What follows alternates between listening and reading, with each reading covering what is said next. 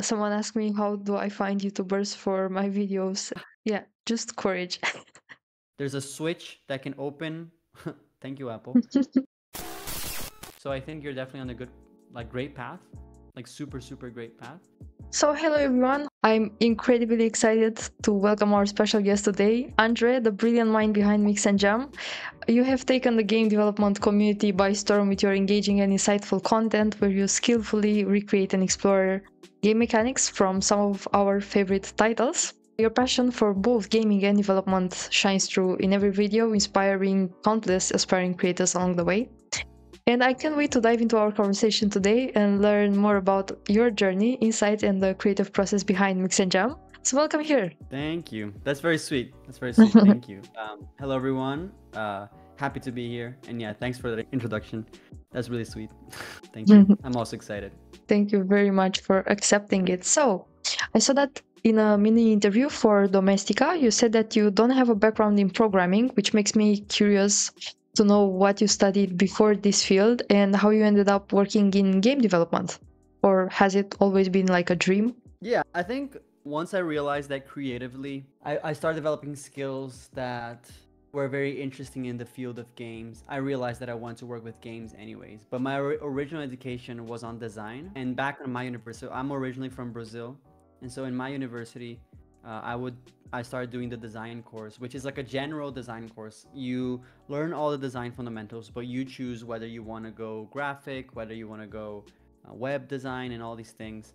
Um, and I knew that I wanted to do something on games, but on hmm. theory that was really hard because I didn't know if I was going to go into the actual programming of it uh, or just the theoretical part of doing the project, balancing and level design and so on. So that was the initial thought that I was going to participate in a more project oriented way. Um, but I also wasn't very hopeful just because I was in Brazil and I didn't know exactly how the industry was doing back then for that specific scenario in Brazil. Um, but then I had the opportunity to study abroad.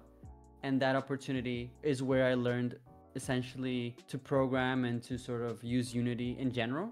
And that's where I, I, I really got started. And the most important part about that was the way that everything was taught to me.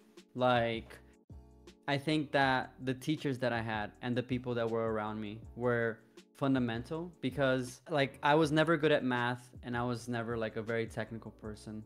But I think that when people educate you properly and they showcase that you know programming is not is not a beast or anything um, that's when you really shine through and you start getting into the concepts of how powerful programming can be. And I think that's what happened to me, where I just felt that um, someone was giving me attention and giving me the right resources so I could learn. And so, as you can see, it was very powerful because I started doing my own stuff. And yeah, it's it's it's not it's not anything uh, special. It's just that I had a great opportunity with great people to learn, and then I just decided to continue on that uh, empowering feeling, so to speak. Mm-hmm. I really empathize with what you're saying because I also don't have a background in anything related to math, like programming and stuff like that. I'm also currently studying multimedia and creative technologies. I'm passionate about design in general. It doesn't really matter web design, UX design. But uh, yeah, I also got interested in this field thanks to the teachers and the university itself. So that's why I'm here today. there you go. So very similar. Yeah. But yeah, like edu- education is crucial, uh, especially mm-hmm. with games because when you play certain types of games or AAA games for that matter, uh, it's always going to feel like an impossible task where you're gonna look at it and you're never gonna know exactly how you're gonna get there. Um, and with games, it's very important to have someone that can. Like games are not easy, right? Mm-hmm. But the barrier of learning them should be like easier and when people make that easier easier for you i think that's when it really works and when you really get started with the sort of flow you know yeah you're right and now probably just like everyone else i am very curious about what it's like to work at unity and how hard is it actually to get a job there if of course it's okay for you to share this if not skip it yeah, no, that's okay. How it feels to work? It's been it's been a while now, so it's in, it's a question that I haven't been asked recently. I think, but I Mm. think it's really cool. So Unity has because of the amount of departments it has, right? Uh, whether it's things on the actual engine, whether that's things outside of the engine, there's such a variety of people working at Unity that I think that as a professional, as a creative, as a human being, just being in that place and sharing the same space with all these creative people it's amazing and i think that also there's like some there's a lot of unity legends that uh, remain at unity and when you get to interact with these people or like uh, create projects or work with them is that you really feel you just feel something special. Like there's they're, they're legends for a reason so it's awesome to be around there and learn. I think uh, the nice thing about being at unity is that i learn a lot. Um, and you know like of course it's like a technology like we're working on the technology of the engine and whatever but um, I, I still think that there's a lot of creative minds there and it's very nice and then to answer your question about how hard is it to get a job i i actually don't know the answer to that because i think the the difficulty of finding a job lies upon many variables right? I don't think it's just like easy or hard to get in. I will say that there are many positions at unity um but that's what i'm like similar to what i was saying previously. Um, there's a huge variety of roles so, so whether you're working on a specific product and whether you're like a as an example web developer on that very specific product right? Or if you actually want to work on the engine then these are two completely separate things. But um, i think there's no harm in trying. As far as i know unity has a careers page that you can just hop in and uh, and check out what's available what's nearby and uh, always try. Like i don't know like i don't know how hard it is. I just think that if anyone has an interest on trying i think people should just try right like there's no harm in trying and and and learning but i'm not gonna say i, I think it's just as hard or easy as getting any other job to be honest that's my take on it hmm Yeah, just go for it.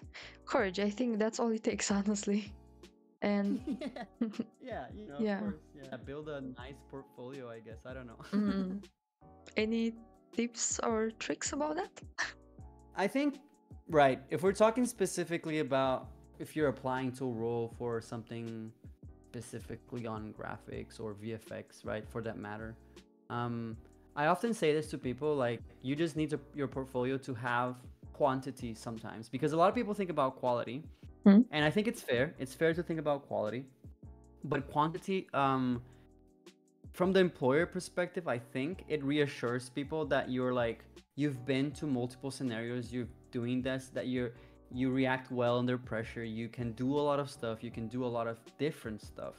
Um, so that's why, like specifically when we talk about creating games, I think that um, the more little project that you can do, and accepting the fact that some projects will actually be pretty bad, but that some will be good, and just put that into your experience, I think it shows to the employer, and this is all assumption, right? But for me, I think it shows that you know how to work with different scenarios, right? And I think the coolest thing about learning, uh, specifically with Mix and Jam, for example, is that because there's a variety of projects, I feel myself a little bit more knowledgeable, not on the technical side. Like, it's not that I know more coding or less coding, but I've definitely tried different things, right? Different genres. And I think that if I was, for example, the hiring manager, I think I would really value someone who's worked in different things and Mhm. they're they can adapt to any scenario because that's just the reality of work. At some point you'll you'll need to adapt. So variety is a good word. Quality you can keep it, but variety is very interesting. So just yeah, just try to find projects that you know, personal projects, projects that you gather with a friend, uh, or that you actually done for freelance work, uh, that you can just gather and mass Mhm. populate that portfolio. Yeah, also Blaster said having a problem solving skill. Yeah, yeah, yeah, Mhm. yeah. And I guess you know, and the other hand is uh, when you show up to these interviews, uh, just try to be the nicest human possible. it's very important for us to just be nice humans. I think that Mhm. in any working environment, people appreciate like uh, gentle people. So that's another that's another tip. Okay, I'll keep those in mind. Now back to your, I don't know if childhood or you know teenage years. Are there any particular games or developers that have significantly influenced your work? Yeah, a hundred percent. Like I, I think at this point I've said this so many times, but it's still true. Like of course, Nintendo is the biggest one. Which one? You know, I think. Which Nintendo Oh, the or? console. Mm-hmm. Uh, I mean everything. Uh, but I will say like the N64 and GameCube are like the biggest things that are in in my memory, and even games that I I use as a reference myself. But um, I think yeah, like it started as a genuine like, oh yeah, I'm just enjoying games from this specific company because they're like maybe targeted a little bit more towards kids. Uh, but then as I grow as a professional, I realized that I think that the other reason why I love Nintendo is the approach that they take for game design, which is often Mhm. like they'll find the mechanic first. So they'll like polish the game mechanic and try to make it, uh, you know, as interesting and special as it is, and then build a world around it. So examples like Splatoon or like a link between worlds, like there's very specific mechanics. They're thinking about the play, right? And I think that as a game designer slash game developer, like play means everything. And I think that Nintendo specifically uh, puts a huge focus on on play. But uh, one of my favorite games is Mario Galaxy. And I think that there's many reasons. I think that Mario Galaxy has all of these things that I just mentioned sort of like together. Like it has the nice mechanic sweetness and the you know sort of like the gameplay of the game revolving around everything Galaxy. Uh, but it's also so like I don't know if it's just my nostalgia speaking up, but like it has like this emotional uh, spirit to it. Like the soundtrack and the graphics and everything is so special. So I I have no idea if I'm just biased or if it's like one of the best games in the world. You know, like I I just don't know. But it's definitely inspirational. Interesting story. Now, um, what inspired you to start Mix and Jam, and how did you develop the concept over time? Talking about mechanics and design, and you know, It's funny because Mix and Jam was actually initially just a game jam that I was organizing um, back in Brazil, which the idea was to like put two different genres together, mix them up, and then make it for the jam. That's why the name is Mix and Jam. Um, so I had that logo. It's, it's interesting. Like the first thing I had was like a logo, but that's aside. That that was one thing, like one idea that I had. And then uh, on my beginning years of learning Unity and getting good at it and start start learning, um, I think as everyone realizes that if you just decide to enter into a production uh, mindset of like a specific indie game, you you know that's just gonna take you a long time, and depending on your like will or your resources, that can be frustrating. So I think I've tried a couple of times of like working on a bigger scale game, doing something that would actually go into consumers' hands. And then at some point I just realized like if my goal is to learn as fast as I can and then get better at game dev, I think it was very frustrating at me in the start to just uh, maintain one specific project. So then I start looking for reasons or things that I could do to keep practicing in like shorter bursts my first thing that I ever did was I just want to I just want to dissect Star Fox. How does that work? How does that on rail camera work? And how does the movement work on that confined space? Um, so I did that, and I actually showed that to one of my teachers back in the day, uh, and I was showing him and explaining him why I did that. I was like, yeah, you know, I just recreating this mechanic because uh, I feel like t- isolating this very specific piece uh, helped me learn a lot, and I can make like a an open GitHub of it, and then people can learn. Um, and while I was telling uh, this to my teacher, he said like, "What you just did, the process of you telling me why you recreated, and for yourself as a game dev, like why." Um, why you want to do this and the way you want to share about the story i think it's a nice uh, it's definitely a nice sentiment it's something that I would like to wa- like see you do more. And ever since I got back from that conversation, and this is after I graduated, but mm. I then came back from this conversation, I was like, that's I mean that is genuinely interesting. Like the fact that you I mean personally, I was taking something almost like a tool, like a tip a way to learn, a way to sort of like practice, a way that would allow me to practice and not frustrate me. Um, so if you take that sentiment and sort of like combine it with the fact that I was graduated as a designer and I had all these like different skills for graphic design, for video, for motion on all these things, uh, for audio, whatever. It felt almost natural that a YouTube channel uh, could come in place out of that, right? There was the sentiment of what I want to do, and was there was some very basic knowledge of how to put videos together, um, and like some branding, which is something I I always think about just because of my background. So all these things came together, and I was like, I'm just gonna try. Um, so in the very start, I was like very imposter syndrome. I thought that the channel was going to be only UI stuff. Like I'm just gonna do, because like if you look at my two first two videos, it's all UI. I was like, yeah, you know, I feel like that's more realistic, and these are things that I can achieve. But yeah, like that's how it started. But after I, I was posting my initial two to three videos, I was just like, you know what? I'm here anyways. So I might as well just like dip my toes into to 3D or real time and VFX and all this stuff. And turns out like I was feeling comfortable, right? Whether the result is good or not, I don't think that matters so much. I think I was I was feeling comfortable and the videos were and video slash projects were improving progressively just because of the fact that I was putting it out there, right? Because you know I didn't take too long to post it because I just said like whatever. I'll consider it an experiment, and then the experiment turned out to what it did.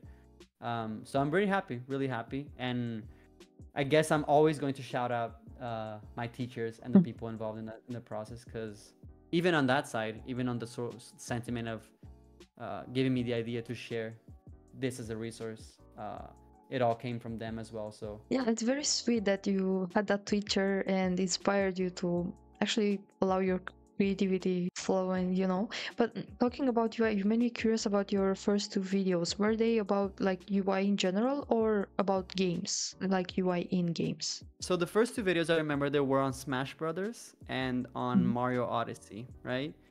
So the first first first video was Mario Odyssey because it was like on Mario Odyssey there's like a world level selector where the globe of the Mario Odyssey world like spins on the level that you want to select. Um, and that on itself I thought thought looked nice and was something that I could achieve with rotations and some UI overlaying.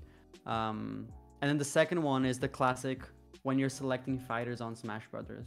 I think it's something that it's very interesting. It's a very niche thing, but I, I remember when I was young and playing Smash Brothers, like, ah, how do they do that? You know, how do they load all the characters available and then you have this little hand where you place a token? It's a very unique way of selecting characters that I think we take for granted. Like uh, some other fighter games will just have you up down like just navigate through the ui and select as with Ma- smash brothers you have these tokens so the two first videos what i mean by ui is that they don't go so much about like the real time uh, movement of a character interacting with multiple things it was a much confined much more confined uh, scope in that case I also have a curiosity, so I started kind of a series on my channel. I just did one episode, but I promise more is gonna come. Trying to recreate famous games interfaces. Is that a good way to start learning UI? Absolutely, right? Because in that game that was released, there's going to be, you know, a lot of fundamentals that were successful in that game, right? You're playing that game anyways. That game has sold and the game is successful. So there's a lot of things that will be applied like contrast, uh, visibility, positioning, anchoring, all these sort of things are very interesting. So it's a hundred percent a a nice way to, to learn. And I have friends that are diving into the area of game UI UX, and I also recommend the same approach, right? Is to do a little bit of that, but also mix it with your own small projects. Hence why I always recommend as well game jams and so on. Like I think these are recreations and game jams are like two really good approaches to use to sort of learn. We also got few questions from Litwave Studio. Asked uh, if you are Brazilian. You said it already. Yes. Yeah, I've never been there though, but the festival and what I see from Rio, it's amazing every year. Nothing but greatness. I love, I love Brazil. If anyone from Brazil is watching, From uh, McDonald's uh, Trump, he asks, I think, what does he think of Unity 6? I think it's um for from what I've I've been personally trying. I think it's a pretty solid release. I think that it comes in a really good time. Also, like the sort of like stability and the new features added after the whole fiasco of like runtime fee. So I think like I've I've been using it myself and there's there's a, a few things that I want to highlight that I think are good. I know that the UI has like a little bit of a refresh, so that's nice. Um, but also, you know, when you're creating assets on the project window, uh, the, it, it used to have this huge list of items when you like go ahead and create a new asset. Now everything is organized into sort of like smaller categories. Then when you when you create a material, for example, you go create rendering and then you go material, which just means that the menu is a lot less vertical Hmm. so it's interesting, but that on itself sometimes makes me just want to create a new project in Unity 6 as opposed to anything else. Um, and then I know I know there's a lot of uh, a new like graphics API things that are super nice. So there's this, for example, this um, asset store tool for creating outlines that really is made possible because of the this rendering technology in Unity 6. It's called Lineworks. Unity 6 is like enabling this kind of stuff, and I love outlines and sort of like using outlines for information, for polish, for navigation. So yeah, bunch of cool stuff. And I'm sure that people are already used to like listening to all the other good features. Uh, like I don't know, all the graphics improvements and stuff. But uh, I think it's just stable. I think that's very nice, right? Uh, it being stable Jakim also asks, um, what motivates you and what pushes you to go on with game development? Uh, I don't know. Like, I'm just I'm I I like to believe I'm really creative, and I think games are such an incredible avenue of expressing creativity. Like, there's no other way to put it. Like, games are a conjunction of you know storytelling, uh, interaction, visuals, plus you know plus logic, plus play, plus the fact that someone can like press a button and make something happen in your game. Mm-hmm. Um, so I think what motivates me to continue is just that I'm I, I like there's no rest for me. I'm just I just like being creative and the the best way I've found to express my creativity is throughout through games. So that's what I would like to continue doing. Just always um, making a small game here, a small prototype, you know, release something or maybe not release it. Um, it's a very interesting sort of like dilemma to be in because a lot of the things that you work on, not necessarily going to see the day of light. But I don't think it's time wasted because I think at the end of the day, you were creative and you expressed that creativity somehow. Um, but of course, it's always nice to publish your stuff. So Mm-hmm. wrap it up, you know, and uh, and put it out there. Interesting. Also, lead waves, I think, said hi in your language. Yeah. I won't read it. so, it says essentially like, "Hey, what's up, bro?" Okay. Blaster also asked uh, if you like Mega Man. I do like Mega Man, but when I was younger, I think I liked more the Network series. I don't even know if it's an age thing, but back in that specific period, I I was enjoying a lot of like uh, more edgy stuff, to be honest, like Sonic Adventure and like that approach. And I think Mhm. that the Network series for Battleman, they're like trying to be a little bit more on that, but also because the gameplay mechanic of Battle Network games are super nice. So I have like a very special memory towards that. But I, I never played the classic Mega Man too much, like the 2D stuff. Now back to my questions. What do you think are the key elements that make a game mechanic fun and engaging? a game mechanic that really works is something that somehow allows you to express your inputs in a interesting output right? So with the mm. press of one button you can do this. I think that to simplify the answer that's it. How much stuff can happen when i just press a single button? So you're like maximizing the input from the user. So they're just doing like this one thing and on the screen a lot of things happening. Like there's visuals that are happening. There are movement options that are being open. But that's on isolation. And i think that The other thing that makes mechanics good to use is in context. For example, if you take the mechanic from a link between worlds and that sort of like cool mechanic of being able to like merge with the wall, at the end of the day, that's just a movement option, right? It's like I'm going to walk on walls. In any other context, you don't even need to merge with the wall. You could just potentially change the gravity and be walking on the walls. Um, but that's the thing. The the reason why it's good is because one, yes, it feels super nice to be able to like cling into the wall and sort of like walk on it. But of course, the level design allows you to express that, right? So if you think about it, the perfect game mechanic is something that not only gives you maximum output, but also allows you to express more and more things. So if the mechanic is a triple jump, you need a whole world where that triple jump makes sense. And these are some concepts that are described on the Game Feel book by Steve Swink. There's like this really nice book called a guide or something like that, like a game feel, a guide to virtual sensation. And it's talking about like, yes, this concepts of maximum output, but also contextualizing. So every game mechanic needs to have some context to work. So on the mix and jam videos, I always try, for example, to put at least one interactable in the scene so that you can use that game mechanic in like a, a small loop but at least that it has some context. Thank you for that. Yeah, it's interesting way of see things. Uh, Lit Waves also asks, do you have any tips on how to stay motivated to finish a project? So I think that's the number one thing to think about. Like you're not alone. I think that helps a little bit. But I think number two is that you have to put a producer role. And I will say this because that's an, a lesson I have to learn every day, every project I start. There's a point where you have to use a producer uh, hat and just be like, if I had to finish this game with only the systems I have now, right? Like you literally create these constraints. I think that's a good way to sort of like finish the project. To stay motivated though, it's not something I can tell you it's easy. Like, oh, just just stay motivated. No, I think going through the process of finishing a project is crucial for you to understand that you're not always going to be motivated, if that makes sense.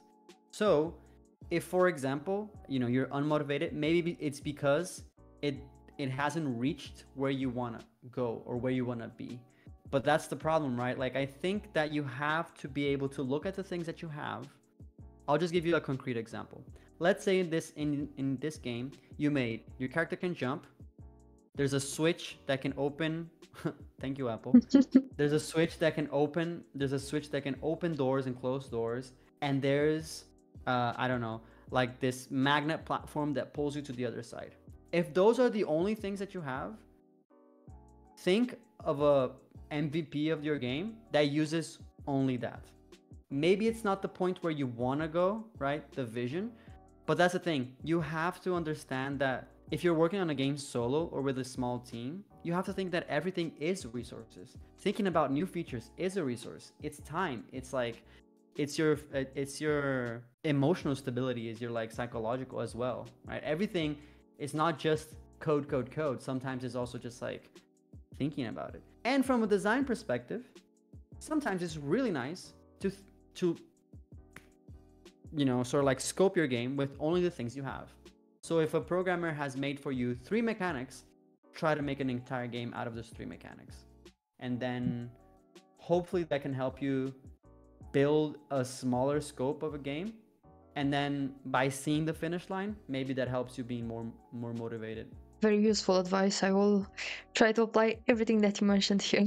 Remember, I also have to apply that to myself because a lot of the times I'm not like that, but uh, I'm projecting, you know? What was the most surprising thing you learned while creating content for Mix and Jam? I think the most surprising thing is how nice the community was. I just did this in an experimental mindset, but the way people embraced it always makes me think about how nice people were and also just how great YouTube and every other outlet is great for niches. Because at the end of the day it is a niche. Game development uh, I don't know game development YouTube videos or game development in general it's a very niche topic but there's so much people out there right? So no niche is small. And I think that that's the thing that surprised me the most. And then the additional thing was considering that this was a a, a good niche, I was also surprised by the fact of how many people I got to collaborate with.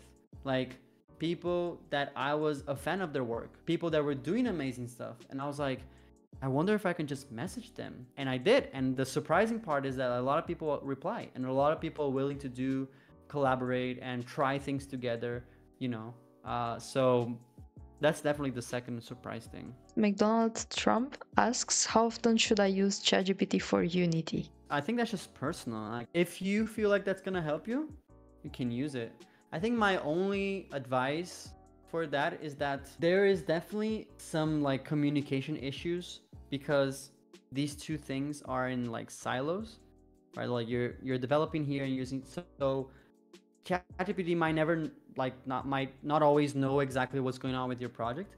So it does not matter if you use it much or if you use it less. The important thing is for you to be the connection and to understand what's going on. Because if you rely exclusively on any like chat AI kind of thing, you're never going to learn right? You're never going to learn why this thing that was generated is helping you with the said game mechanic that you're developing. So it's important for you to understand what's going on so that you have control. Um, and I don't say this in a control freak way. I just mean that as a creative, as someone who's making a game, you want to understand what's going on because you want to eventually add new features. You want to eventually change things on your liking or polish certain code. So definitely good to understand your code.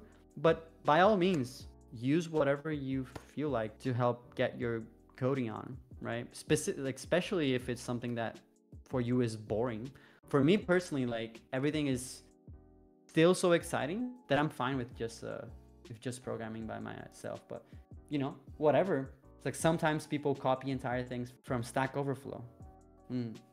Like I, I don't think it matters, right? At the end of the day, it's like you do you do what you do to get your your products and your games done. So it is what it is.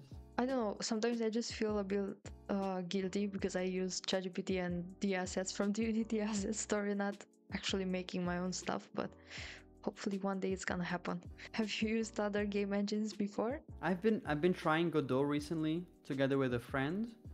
Um, so we've been doing some stuff there.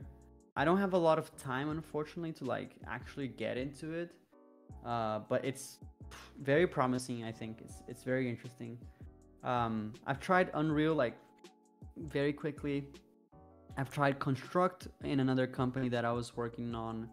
Uh, there was some stuff that was being made with Construct. Um, but but yeah, I think Unity is the is the number one, mostly because that's the one I've learned. And uh, to sort of like go off your next uh, comment there, mm-hmm. like you were thinking about leaving um, that's the thing that for example for me it's one thing that you have to also use the producer hat right you you should use any engine to do to deliver what you want to deliver. But the thing is you have to use the producer hat to be like my time right? How much time do i have to learn this new engine? I think that people can switch when they're still learning their way around multiple things or they want to achieve a specific thing that can only be achieved at a certain engine. If you feel comfortable with an engine, my honest opinion is just like just stay on it. Yeah, because uh, you're taking away overhead from the work that you do by being frustrated and not understanding what's going on with the engine. Uh, when you're just using what you're used to, by all means, use that. You know, the same could be said about any graphics software. Like some people be like, "Oh yeah, but should I stop using Photoshop?" It's like, I mean, sure, like but if you feel comfortable, like if you can do the stuff that you always did in 10 minutes, 15 minutes, and you just want to test an idea, uh, it feels like the tools are just tools to get you there. I'm curious, are there any trends in game development that you are most excited about right now? I think I've, I've been, you know, I think with the big demand on sort of like multiplayer experiences, I can see that there has been a, a huge demand on on making multiplayer more easy and accessible. And I know, for example, like tools that are making that e- easier. I have a colleague that is working on this very powerful extension. It's called Coherence. And this extension that makes it super easy for you to create your own multiplayer, maintain clients and stuff. Um, and that's the thing, right? Like any game developer, if you tell them like, let's make a multiplayer game, everyone will run away, which makes sense. Uh, I think it's just multiplayer games are super hard. But if you were to think like, what if making multiplayer games was super easy, right? So I do hope that all engines on this space uh, make significant efforts to sort of like make that easier because I'm 100% sure if making multiplayer games was just easy, just like, oh yeah, easy, I don't know, a button that says make multiplayer. Uh, but if it was like that, I can guarantee you that a lot of people would be making multiplayer games because sometimes that's the experience you want to develop. Um, so that's a trend, I guess, that I would love to see come to fruition. That making multiplayer games it's easier in the future than now. I would also love to see that because in summer I was trying to do something like that by myself and oh my god, it didn't work out. Also, JJ asks why you stopped uploading, tells he wants to see more mechanics recreated in Unity. What was the last video? that was April, right? So Mhm. I guess the short answer is I am just like taking my time, my sweet precious time to do because um obviously with time I've been involved in a lot more stuff. So not only my 9 to 5 job, also like personal projects that I do with friends or some other work that I do. So I just take time now because these videos not only take a lot of time to make, but I've also become more increasingly increasingly complex. Like if you take the last three videos, like the Metroid Dread stuff, the pathless gameplay, like these are scenes that are like almost vertical slice scale where they have everything that is confined on that mechanic. So there's the interactions, there's the visual effects. So they do take a lot of time. So of course, after doing these things, I feel like super tired. For example, there's games that have been releasing now, especially on the Switch, that I've been looking, playing, and always thinking like, oh my god, yeah, maybe that might be in my next video. Um, but you know, there's like there's that, there's personal life, there's like so much stuff that, and, and I'm only one person doing mix and jam at the end of the day.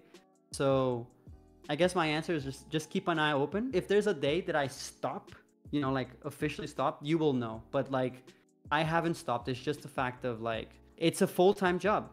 It's a full-time job to to create content, to make these projects, to put them on a repository, to make the script, to record the audio.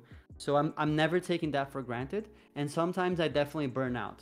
That's for sure. Sometimes I definitely burn out and I have to take my time and i've been finding that that's a more like uh, healthy relationship that i have with the channel is doing the videos when i think it makes sense and when i'm ready to put the things out so soon hopefully fingers crossed Yeah, I think it's a better approach because also when I was talking to Freya and Kyle Banks, they also mentioned burnout, and it's very hard to have it, especially in a field that you actually enjoy. that's the thing about public exposure is that especially with youtube um, the way the way posting videos work and and sort of like following up to things makes you always want to be there. Like there's this huge fomo.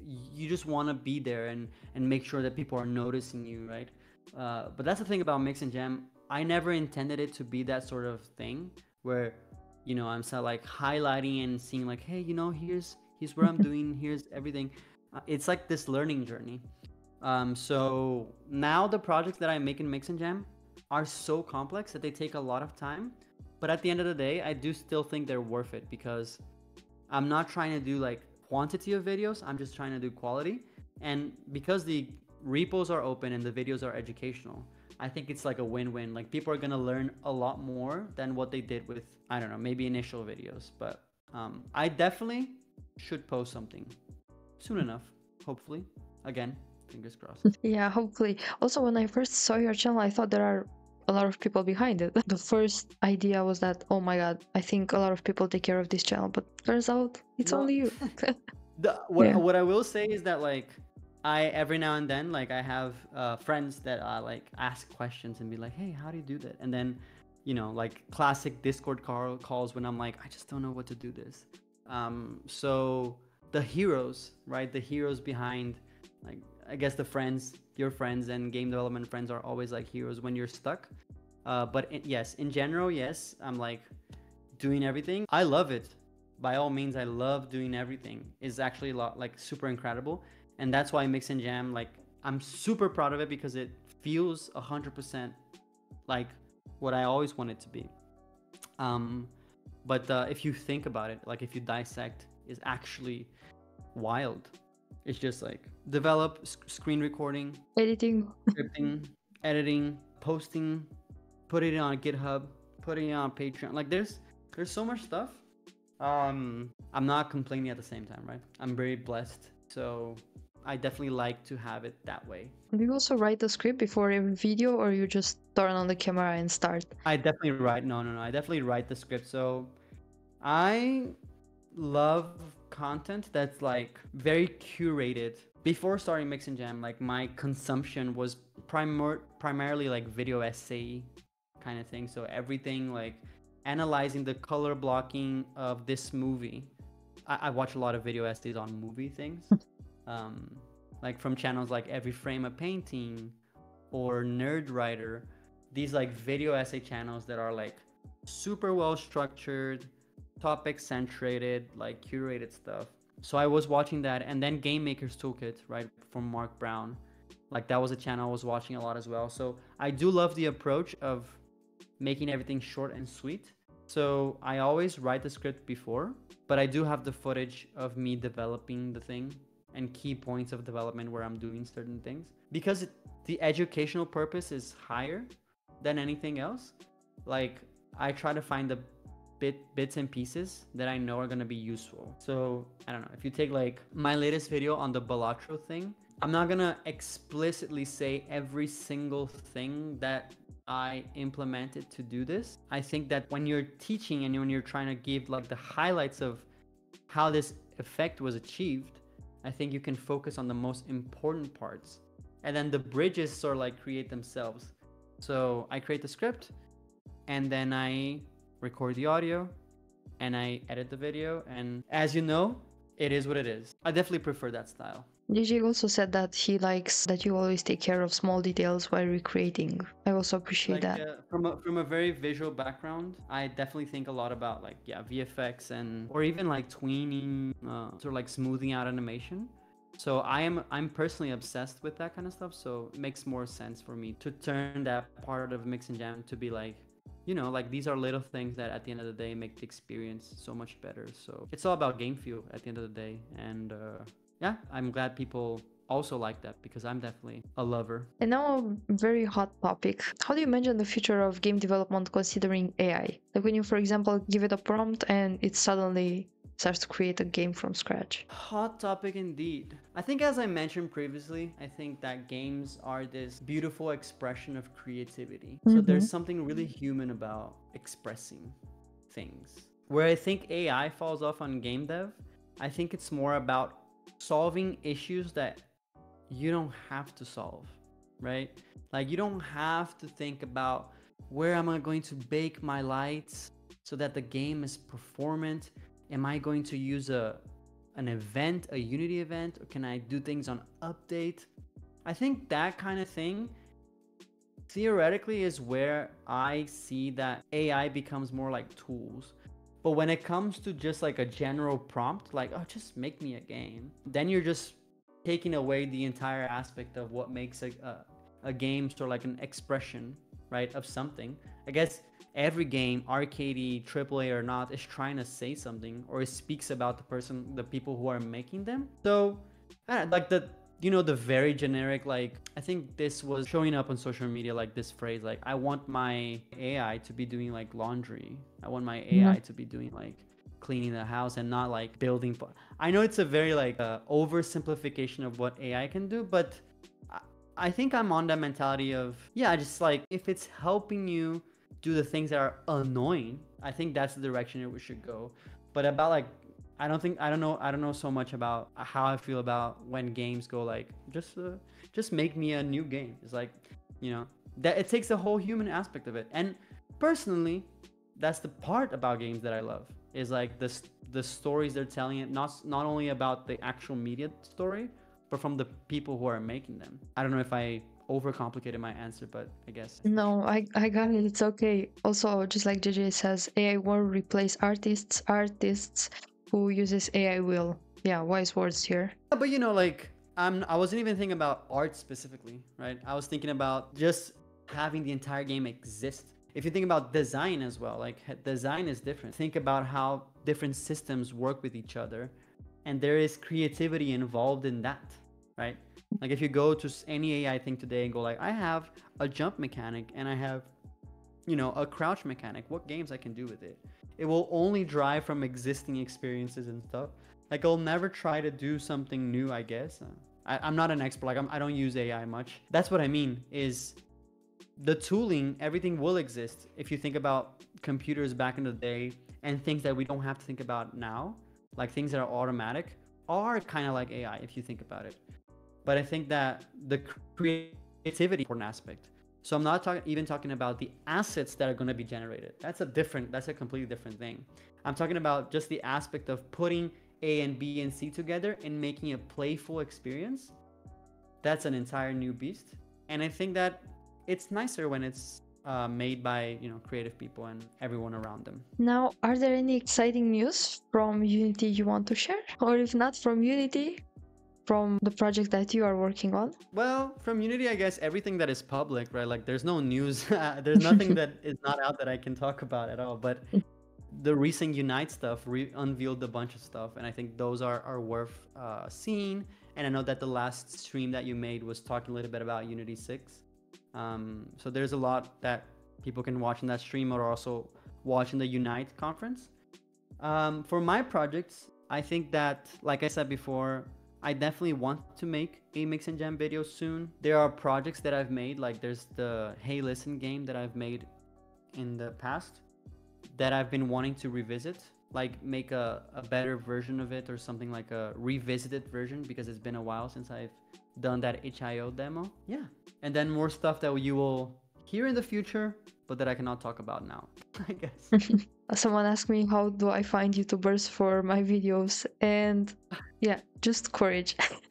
That's all it takes. sort of like rephrase it because yeah we talked a little bit about this Yeah. before we start but like people who are making stuff and that you like and there was there was a point where all these people were in the same place right everyone has someone they like and they watch their videos and they're like oh man i wish i could be them and then for some event you make you create something and then you're you're actually known for that you're still that same person and i'm sure that everyone who started making anything that has some popularity came from that same position so one thing that you do find out in this world is that you sometimes just message people, right?